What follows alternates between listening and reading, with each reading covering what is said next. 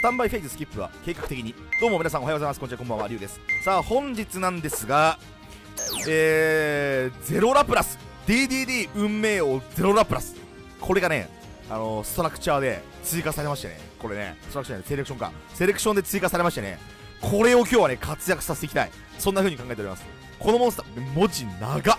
文字量おえー、これ見えないよねみんな多分ね。ちょっとアップにして読んでいこうかなと思うんですがまずペンディラム効果ですね。このモンスター。あじゃあ DDD 運命を0ラプラスレベル10のモンスターで、えー、スケールは1スケールは結構強いですけどレベル10なんでまずそもそもペンディラム消化ほとんどできません。はい、で、えーと、この効果どういう効果かっていうとペンデラム効果ね。このカードのペンデラム効果は、えー、自分のメインフェーズに自分のエクストラデッキから、えー、ゼロラプラス以外の表が表示の DDD ペンデラムモンスター1体をというのに加えるってことで DDD しないといけないんで、まあ、DD 魔導賢者キプラーとかは回収できませんし、まあ、基本的にはなんかあのアポカリプスとかああいう系のあのー、まあ、そういうモンスターを回収していくことになるんでペンデラム効果そんなに使えませんね。でモンスター効果の方が、えーと、結構強いんですけどもえっとですね文字長えな。文字量多すぎるだろこれ。どうなってんだよ。えー、これ。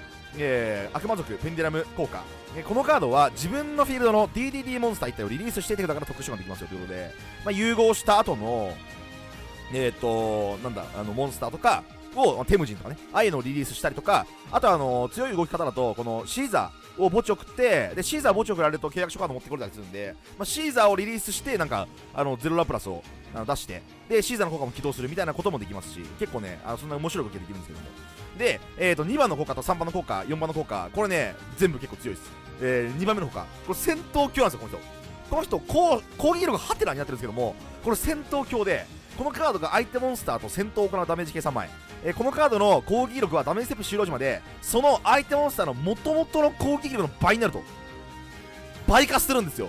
倍キルとできるんですよ。これが強いです。非常に。だから 5, あの5000で殴ってきたら1番になりますしはい。めちゃくちゃな打点になるということですね。だから戦闘ではほとんど負けません。あのアルマデスとかに殴られない限りはね。で3番目このカードが守備表示モンスターを攻撃したら貫通します。はい。だからまああの守備表示モンスターを殴ってもなんかそのあいつの守備表示モンスターの攻撃力の倍になって貫通するんでまあ大体戦闘だったら勝てるかなっていう。まあ攻撃力がゼロのモンスターとかじゃない限りね。で4番目このカードは一旦に一度だけ戦闘では破壊されないしその際自分が受ける戦闘ダメージゼロになるということでまああのー、この効果あのターン終了時までじゃなくてダメージステップ終了時までなので打点が上がる効果が。だから、まあ、2体でねあのなんか殴られるとちょっとあの弱いかなと思うんですが1体目の攻撃をいなすっていうことができるんで非常に強い。でしかも月の書とかで裏返されても一応戦闘で破壊されないんであの相手は効果で突破するしかないと。いうことですね。まあ効果で突破する手段がめちゃくちゃ多いこの環境でどうなんだみたいな話はありますけれども。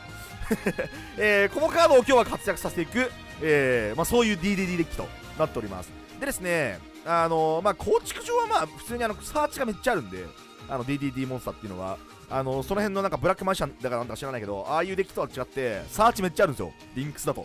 あリンクスだとっていうか OCG でもだけど。なのでまあ契約書とか、まあ、ケプラーとか。で、まあ、契約書持ってきてそれでサーチしていくみたいな動きなんですね基本的には。で、えーと、メインギミックはねあの普通の融合軸の、えー、DDD になっておりまして。でえっ、ー、とですねあのキルはですね契約って方の先延ばしにしてるんですがあのー、これねあの修正入るんですよ。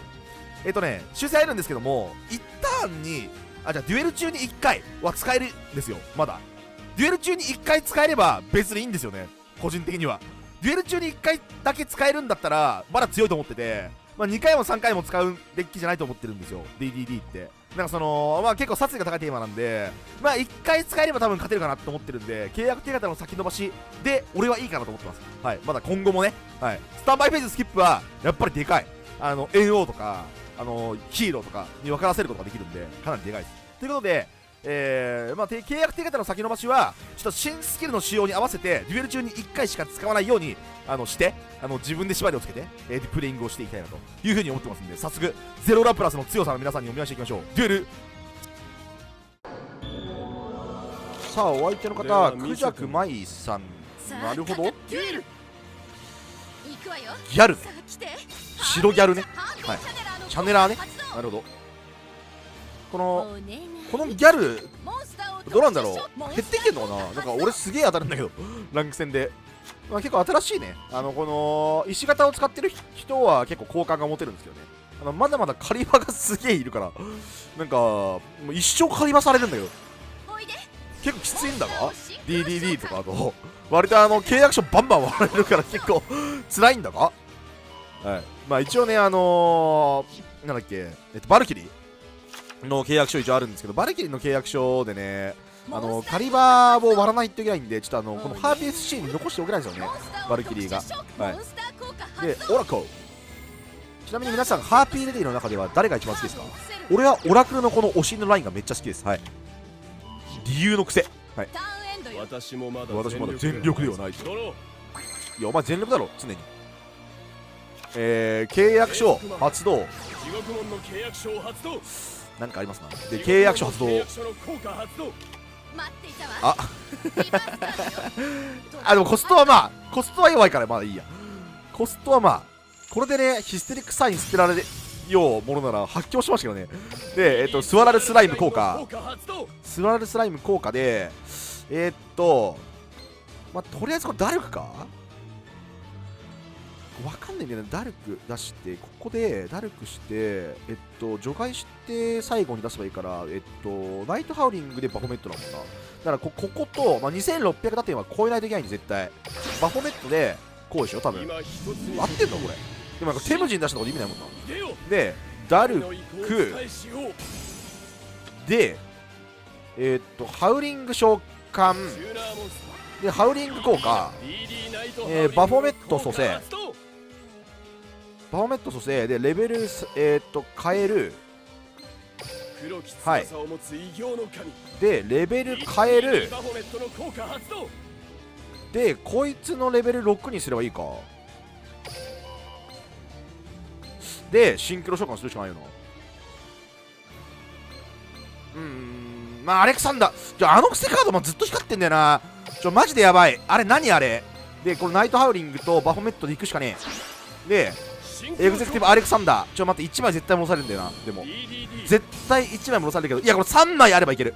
3体あればどれかで突破できる。でスワラルスライム効果 DD スワラルスライムの行け！DDD 運命をゼロラプラス。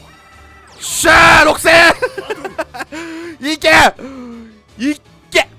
いっけ！ほらゼロラプラスで攻撃。DDD 運命をゼロラプラスで攻撃。通れうわーひもいんだよ。お前これモンスター2体背負ってくんのこれずるいだろどう考えても。ふざけんなよ。ふざけんなよこのデッキ。まあ、ちょ一応こっちは破壊するしかねえ。ちょマジふざけんなマジで。マジでふざけんな。こんだけ展開してさ前2枚触ってくるのマジせこくないこれ。絶対せこいわあのデッキ。ハーピークイーンやばいやばいやばい。やばいやばいやばいやばいやばいやばいやばい終わ終わりか？終わったかこれ。終わったのか？いや終わってはない2体は処理できない。で伊達は上回っている。伊達は上回っている。ハーピーの意志。やばい。まあやばくないわ別に。大丈夫だ。魔法タップない。カリバーカリバーえいくつだから2800だっけあええそっちなのあれそれ戦闘で破壊されませんけどそれそれ言ったのに一度戦闘で破壊されませんけど？まあちょっと一応ラプラスの方発動しといて。戦闘では破壊されませんけども。あれ？あれ？ハーピーさん大丈夫かな？これバトルフェーズ入るんだよこれあれあれ？だって羽もぎでしょ？でラプラスの効果。よーし！強えラプラス！いけるぞ！頑張れラプラス！きたこれ。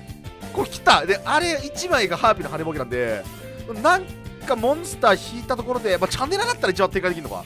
チャンネラーだったら展開できるけどチャンネラー出してえっとあ派手ぼうき捨てて展開したところで、えっと、狩り場でわらわら狩り場割られるから魔法カード持ってこれなくて。あでもやっぱりパフューマーがいるとやばいのか。パフューマーやばいかもしれない。あれ？終わったのかこれ？もしかしてこれチャネラー1枚から返されるっていう絶望的展開か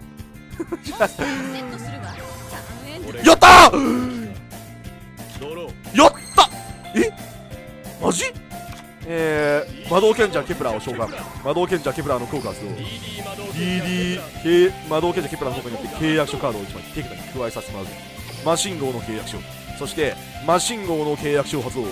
マシン号の契約書の効果によって俺は手札墓地からまたはフィールドから融合祭モンスターを墓地の国または除外し融合することができる。分からせるか。分からせていくしかない。これがやりさの会長。いけ！DDD 黒竜王ベヨウルク。バトルライズ！ユキはゼロラプラス。このモンスターは全て貫通能力を持っている。ゼロラプラスチャネラなんで使わなかったんだあいつ。まあいいや。とりあえずゼロラプラスが最強っていうことでいいですね。異論はありませんね皆さん。はい。ゼロラプラス最強です。さあお相手の方闇遊戯君よろしくお願いします。テールさんバイ異次元をお前のも私のターン。なるほど。なるほど龍一。スライム。れスライムだ。えー、テムジンですね。テムジン。テムテムテムテム。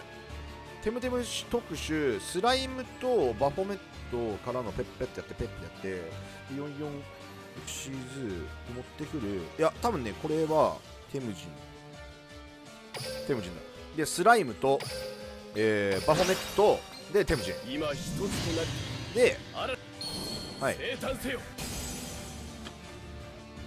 墓地のスライム効果スライム効果。ケプラでケプラ特殊が成功したんでテムジン効果。バフォメットを特殊。はい。これやっぱバフォメット強えな。なんかバフォメットこんな強いと思わなかったわ。なんかこいつ使ってなかったらずっと。なんか強えわこいつでバフォメットレベル操作できるのはやっぱちょっと若干ねあのレベル合ってない時あるじゃないですかこういう時。ケプラーのレベル合わせないとこれ強いよねで契約書とかでこれゼロラプラス持ってきたらいいんじゃないのこれ。これ分かったわ。これあ分かったかもしれない。なんかすごい強そうな動き分かったですね。でバフォメットでしょ？でバフォメット効果レベル4にするケプラ。ーはい。4にする。でレベル4のモンスターに対してオーバーレイ。エクシーズ召喚。怒涛王シーザー。怒涛王シーザーをエクシーズ召喚してで怒涛王シーザーはえーっとエクシーズ召喚に成功してした場合とかの効果じゃない間違えた。えーっとこいつを墓地に送ることによって契約書カードを探してできるわけですよ。はい。こう。でシーザーの効果。これでこうしてこれでどう？これどう？あこれちょっと強いな。これちょっと強いな田代。ゼロラプラス後ろバルキリーどう？まあちょっとあのあれ引かないあのなんだっけ？えー、っとマシーオの契約書が墓地送んないといけないんですけどもテムジンが墓地送られたら回収できるっていうそういうシナジーね。なんかやばい。なんかちょっと強そう。あえーっと無理だねそれはそれは無理だね。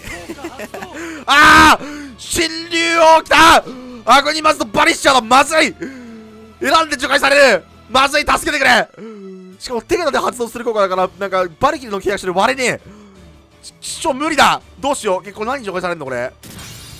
ああなるほどね。ガルドニクス。とあガネーシャやばいやばいやばい。アグニマズとバニッシャー。アグニマズとバニッシャー特殊効果。あゼロラプラス。ラプラス俺のラプラスが俺のラプラスが何してくれてんだてめえ。1枚しか入ってねえんだよ。バロン。やばいやばい。やばい違うやばいこと起きてる。バロンの効果で特殊召喚ガネーシャの効果でガルドニクス特殊だって。やばいんじゃねえかこれさすがに。マジマジマジ。死ぬ死ぬ死ぬ死ぬ死ぬ死ぬ。死ぬ。死ぬ。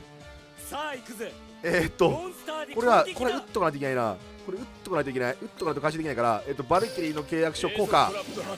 えっとバルキリーの契約書。マシン号でアグニマズとバニッシャー割っとくしかねえ。でテムジンの効果。で契約書回収。効果発動。けこうするしかねえ。違う行くぜ。危ねでこれはもうスタンバイをスキップするしかねえ。スタンバイフェーズをスキップせざるを得ない。スタンバイフェーズもちろんスキルを発動する契約手形の先延ばし俺はスタンバイフェーズをスキップさせてもらう。これによって俺はけきたーガルドニクス出ねー 神ゲーガルドニクス出ねー神ゲーこれが最強スキルよ。これが最強スキル。ままだスキル修正されてもデュエル中1回は使えますからね。皆さん。ええ一回使えりゃ御の字よ。だって DD は殺意が高えからな俺バイスポーンじゃねえかバイスティポーンを持ってきてで、えっと、スライムとバイスティポーンでいい子じゃねえかスワラルスライムの効果発動で、えっと、新卓王をダルクを出していく。バイスティポーンの効果も発動していく。はい。しウィ手をはい。はい。からの、バイスティポーンの効果。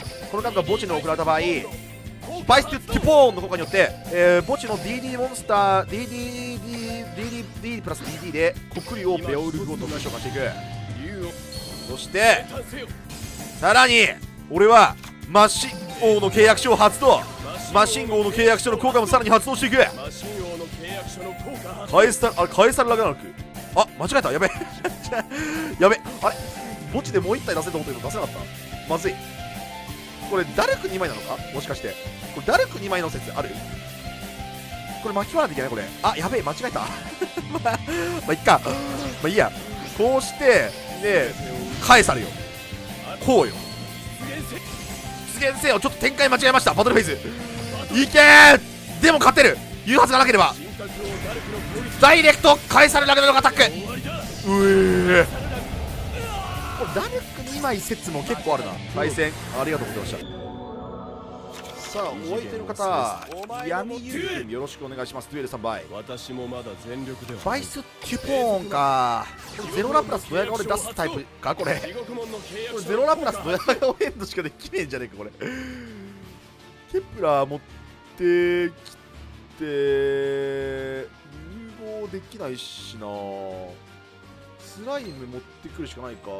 ケプラーいやでもこのケプラーケプラーでケバルキリー持ってくる説も結構あるんですけどね。ただなんかそれはそれでなちょっとちラプラスを信じよう。なんかこのクソ除去多い環境だけど。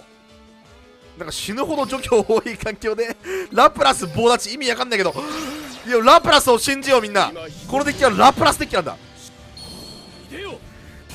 はいでからの DD スワラルスライムの効果発動。ゲームから除外していけ DDD 運命をゼロラプラス。うわーはいターン終了しまーす。俺たちのラプラスを信じろ。戦闘狂だからな。こいつは戦闘ではほとんどあの破壊されないからな。大体。一旦一度戦闘では破壊されず受けるダメージはゼロになり。さらに相手モンスターと戦闘を行う場合、えーそのモンスターの元々の攻撃力の倍になり、えー貫通能力を持っている。なんて強いんだ。演武電気プレミアム号いいな。ガネーシャ。なるほど。結構あのあれですかね。援護あのえあのなんかアグニマズドが来たから。うわー来た！アグニマズド！やばいやばいやばい。なんかこれさっきのだったんだよな。アグニマズドガルドニクス。はいガネーシャ。オッケー。バニッシャー！やばい。あー！ラプラス！ふざけんなし。ラプラスどんだけ除外される。おふざけんなよ。ガルドニクス。やばいやばいやばい。えー、ややばくね？それ。終わった。やば。やってることやばいでしょこれ。このデッキふざけんなし。ふざけんなし。ありえんだろ。おなんだこの最強盤面。ふざけんなし。なんどういうことだよ。展開力ねえんじゃねえのかよモンスターに AO 展開力なかったんじゃねえのかふざけんなよ。アグニマスのバニッシャー最強説。これは環境です、アグニマスとバニッシャー環境対戦。ありがとうございました